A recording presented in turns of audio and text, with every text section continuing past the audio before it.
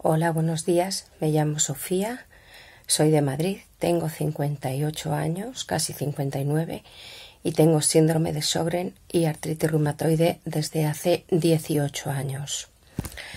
En este mes de abril de la concienciación, yo quiero hacer hincapié en el poco apoyo que tenemos cuando vamos a solicitar eh, que nos den una minusvalía o que nos revisen la minusvalía o simplemente pasar tribunal médico después de una baja de un año o de 18 meses.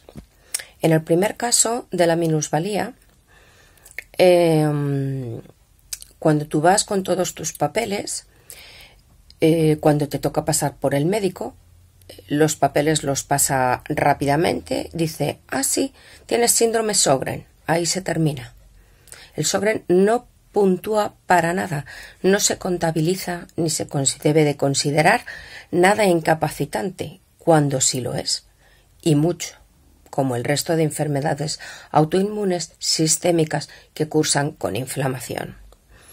Entonces, cuando tú sales de allí esperando que te hayan comprendido y te llega la carta, te das cuenta de que o no tienen ni idea, o no te han comprendido, o no te quieren comprender.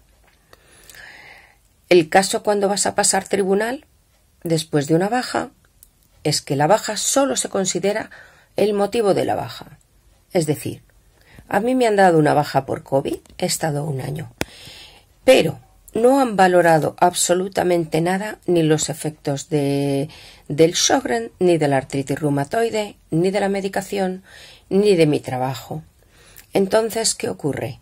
Que estás continuamente intentando o que te cambien de puesto o que te den una incapacidad que no están por la labor de darte.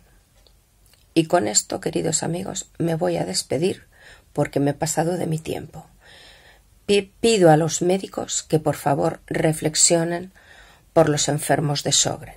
Gracias.